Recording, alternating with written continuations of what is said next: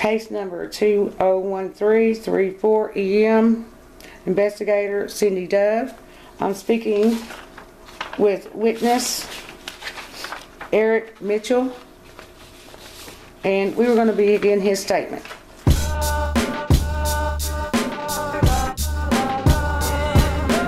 Curiously enough, to look is not to see. It is merely to observe what little we have to offer.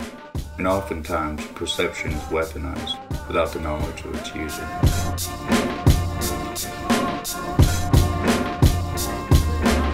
It's a feeling you get, and, and it's almost like it picks you out. That's probably the craziest thing I can say right now, but it's we're all energy, They have seen orbs also through these, all through the woods back here. and the feeling was just a, I don't know, like uh it was energy. That's all it was. Um, that tingly feeling that I was talking about earlier, which now has gotten a lot stronger. Now, do I have that ability? No. Can I do it on accident? Absolutely.